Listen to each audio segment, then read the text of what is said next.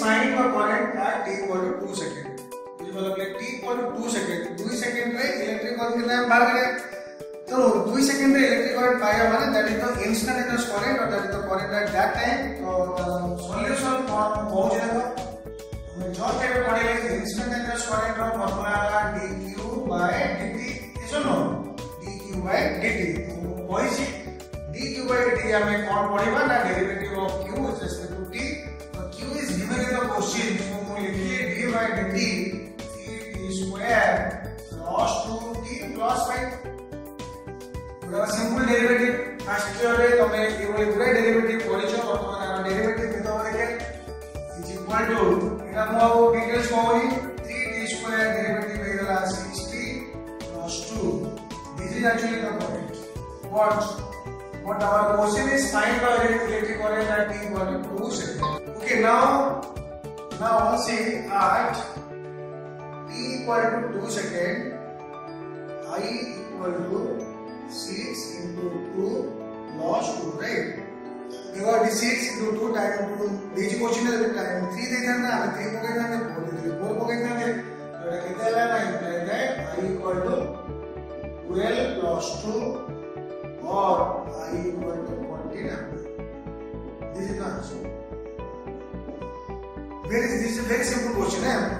May think that uh, difficult questions are coming in council exam. Actually, this type of questions are coming exam. So you can easily solve. The Q is given. Simply you can solve. You will know how to find the derivative. Right? Another question. Let me solve another question. Uh, actually, in question uh, in the first question, the charge was given in the question. The question was to find the current, right? But here actually electric current I is given 3t plus 2. Question is find how much charge will flow from 3 second to 4 second. तो ये question में हमें charge बाहर करना है charge बाहर करें तो सॉल्यूशन कौन होगा देखो देखो क्या I is given actually that is 3t plus 2. This is given. I is given. Yes or no? So I in place of I you can write dq by dt. This is equal to 3t plus 2. It's a very very simple question. Eh? dq equal to how much? 3t plus 2 reaction so at least see this is actually small amount of charge flowing in a small quantity but my aim is to find out total charge that is flowing from 3 second to 4 second તમારે પેલા જાણી છો ને total charge બહાર પહેલે કોણ બનાવી પડ્યો અને ટોટલ ચાર્જ બહાર કરી પહેલે અમુક ઇન્ટિગ્રેશન કરી પડ્યો કેવું ઇન્ટિગ્રેશન કરે અને total charge q equal to integration of dq કે right from 0 to q this is equal to 3t loss to dt from 3 second to 4 second. You know actually how to find the integration? You know the formula for the integration? So I am writing 3 into t square by 2 integration of 3 dt plus this is from 3 second to 4 second plus 2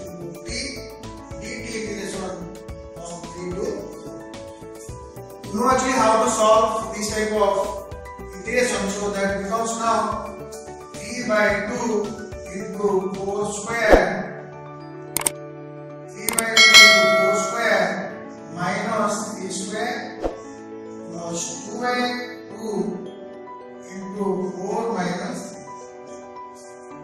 Very simple thing. Yeah? Now easily you can find the value. Okay, that is equal to. So now q equal to 3 by 2 in bracket 16 minus 9 loss 2 into 4 minus 3 is 1. So that is equal to 3 by 2 uh, into 7 loss plus 2. This is equal to 3 into 3.5 loss plus 2. Or this is equal to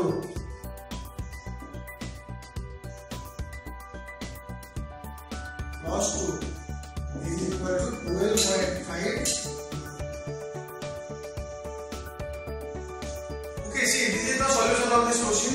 3 mark question also, so many times 2 mark questions are coming, right? So, the, in the question, if the current is given to you and the question is find the amount of charge flowing from any time, from 1 second to 2 second, 5 second, 3 second to 4 second. So, if you know the formula for integration, how to do integration, then you can solve this very easy process. Find the but charge. See, in the example where charge was given, you have got the current. But in this question, current is given, we are getting now charge. Another type of question, let me solve another question.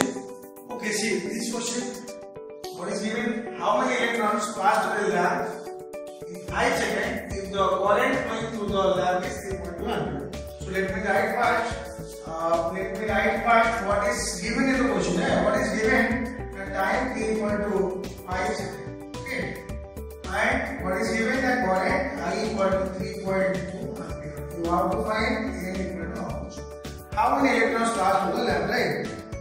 See, actually, you know, I equal to Q by T. Already I have told you. Already I have told you about this formula. I equal to Q by T. But in place of Q, already I have told you in electrostatic. You can write E by T. Not taking. Q equal to N into E by T. What is N? The number of electrons. What is E? The charge of one electron.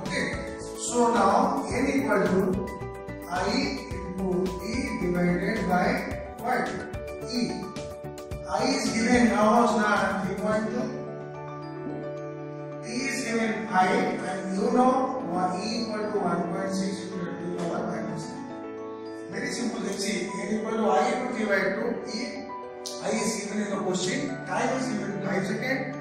E value you know 1.6 into 10 to the power minus 19. So let me very simple thing. 2, 2 is equal to 10 into 10 to the power 19 or that is 10 to the power. This is the answer. Very simple thing. So how many electrons pass through the lamp in 5 seconds? Then 10 to the power 20 electrons are passing through the lamp in uh, 5 seconds. Okay. Another question. Suppose I tell you now.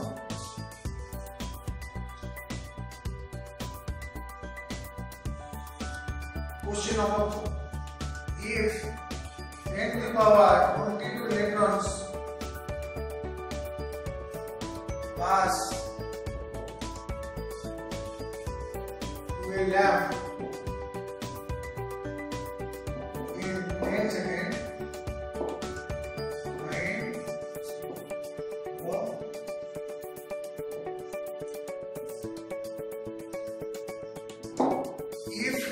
10 to the power 22 electrons pass through a lamp in 10 seconds, then find the electric current. Okay. See, in this question, what is given? Remember one thing, I should read the question, follow the question, ପଢିବ ବୁଝିପାରିବ ଦେଖ ମୁଁ ଗୋଟିଏ formula ଏଇଟା ଗୋଟେ formula ତୁମକୁ କହିଛି ଆଉ ଗୋଟିଏ ଫର୍ମୁଲା ଯୋଉଟା ଆମେ ଇନଷ୍ଟାଣ୍ଟେନିୟସ୍ କରେଣ୍ଟର ପାଇଲେ ତୁମକୁ ମାତ୍ର ଦିଟା ଫର୍ମୁଲା ଯେତେ କୋଶ୍ଚିନ୍ ଗୁଡ଼େ କୋଶ୍ଚିନ୍ ହେଇପାରିବ ଏଠି n ର ମୂଲ୍ୟ ଆମକୁ ଦେଲା 10 to the power 22 okay time ଦେଇଛି କେତେ ନା 10 second find the electric H कोणम coordinate is how much coordinate निकालना बाकी है। तो कोऑर्डिनेट मैप की same formula i is equal to l by t इसका डायरेक्ट हम लिख ली। N रो वैल्यू हमको दे दी 10 टू पावर 22 हम e रो वैल्यू जानी छो 1.6 to 10 to power minus 19 right t दे दी हमको कितना है? सेकंड तो ना कहते हैं देखो? 22 19 వచ్చింది ఇది 10 క్యాన్సిల్ అయితే 21 21 in 19 है 21 19 2 that means मान के 1.6 into 10 to the power 2 means that is equal to 160 ampere 160 ampere right these are very simple questions but these type of questions are always coming in council exam so this is all about electric current its definition its unit okay one thing i have forgotten actually what is its dimension you know it eh? okay dear students remember one thing current is actually a physical quantity and that is a uh, fundamental quantity that is a basic quantity its dimensional formula is a capital a. Its the dimensional formula is dimensional formula current is a is a fundamental quantity. So what i have explained today uh, what is electric current? First what is current electricity? What is the basic difference between electrostatic and current electricity? Then what is electric current? What is its unit? What is its dimension Uh, then uh, how to find uh, how to know the direction of electric current also I have told you. Okay, now uh, the next part I am going. Uh, next part is तो बोले current transmit करने के लिए current मोड़ के मारे बोले current अरे करेंट माने वाटर करेंट मन करो वाटर फ्लो कर छोटे जगह आवड़ जाए तो देखिए तो बोले बोले कौन सी करेंट प्रबल अच्छे लगते हैं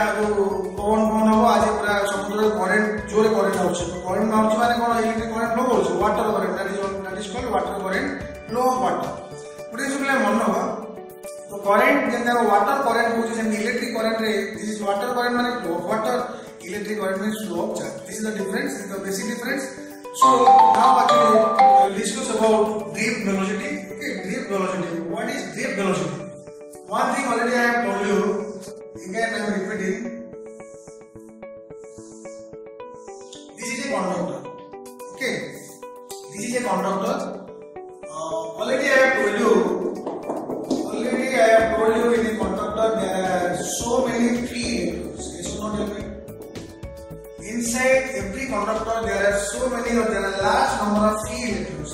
So whenever there is no electric field,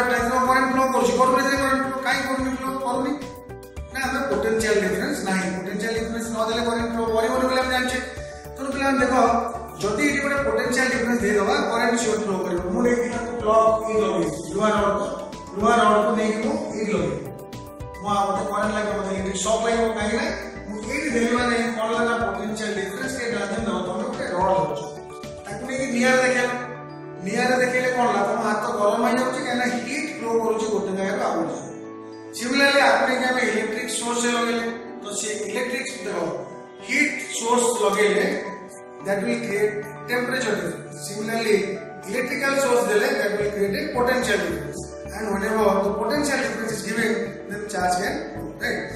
So, ମୁଁ କହିବା କଥା ଥିଲା କଣ ନା ଡ୍ରିଫ୍ଟ ଭେଲୋସିଟି ଆମେ ଯେତେବେଳେ ବୁଝିବା ମୁଁ ତମକୁ କହିଲି ଗୋଟେ କଣ୍ଡକ୍ଟର ଅଛି ପୋଟେନସିଆଲ ଡିଫରେନ୍ସ ଦିଆହେଇନି ତା ଭିତରେ ଥିବା ସମସ୍ତ ଫ୍ରି ଇଲେକ୍ଟ୍ରନ ମାନେ ରାଣ୍ଡମଲି ବୁଲନ୍ତି randomly motion random motion or ଆମେ କହିପାରିବା zigzag zigzag motion or moving on a random motion. Random money, they are not moving in a particular direction, they are moving arbitrarily hey, in any direction, so their average velocity is zero. There is no point.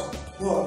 ବୁଝିବ ଚେଷ୍ଟା ଆଉ ଯୋଉ ବୁଝ ତମେ ଗୋଟେ ଲୁହା rod ଧରୁଛ ହେଲା ସେ ଲୁହା ରଡ୍ ରେ ତମକୁ ଧରିଲେ କରେଣ୍ଟ ମାରୁଛି କି ମାରୁନି କାହିଁକିନା କରେଣ୍ଟ ଫ୍ଲୋ କରୁନି କିନ୍ତୁ ତା ଭିତରେ ଫ୍ରି ଇଲେକ୍ଟ୍ରନ ଅଛି ଆଉ କେବେ ଭାବିବନି ଯେ ତା ଭିତରେ ଥିବା ଫ୍ରି ଇଲେକ୍ଟ୍ରନ ମାନେ ରେଷ୍ଟ ଅଛନ୍ତି ବୋଲି ତା ଭିତରେ ଥିବା ଫ୍ରି ଇଲେକ୍ଟ୍ରନ ମାନେ ମୋସନ ଅଛନ୍ତି ହେଲା କେମିତିଆ ମୋସନ ନା ଆର୍ବିଟାରୀ ମୋସନ ହେଲା ଆର୍ବିଟାରୀ ମୋସନ ବା zigzag motion so their average velocity zero ଯଦି ତାଙ୍କର ଆଭରେଜ ଭେଲୋସିଟି ଜିରୋ ତାହେଲେ ସ୍ଲୋ କରେ ରାଇଟ୍ ଆମେ ପୋଟେନସିଆଲ ଡିଫରେନ୍ସ ଦେଇଲେ କଣ କହିଲେ ଯେତେବେଳେ potential difference ଦିଆଯାଇଥିବ all the electrons are moving randomly along all there is no current passing through any cross section of the conductor. Carnival. Eighty the body, eighty the body, master electron, epode house, house. But now, now, see, what will happen?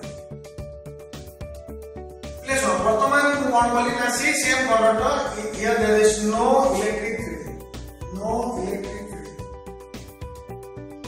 Electric bill गिराएंगे grid की law में potential equation है image no current current is zero the average velocity of the electrons is zero okay why average velocity is zero because they are moving randomly so average velocity of the electron is zero but in this case when we are giving a potential difference okay we are giving the potential difference if we give the potential difference then what will happen see what is happening now the, all the electrons trying to move in a particular direction electrons are trying to move in a particular direction means these electrons are moving towards the positive terminal because the positive terminal is attracting the negatively charged free electrons right so now actually the in this case what is the difference between these two diagrams here electrons are moving randomly their average velocity is zero but here the electrons are moving in a particular direction right so in this case the average velocity with which the free electrons are moving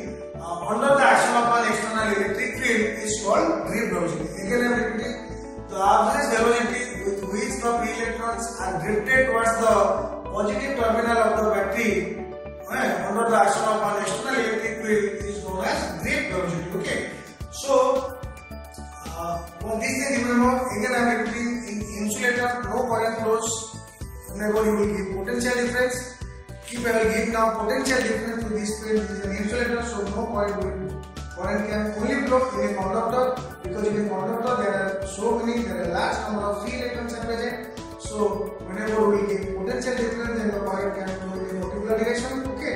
So the average velocity with which the electrons are moving towards the positive terminal under the action of external electric field is called net velocity.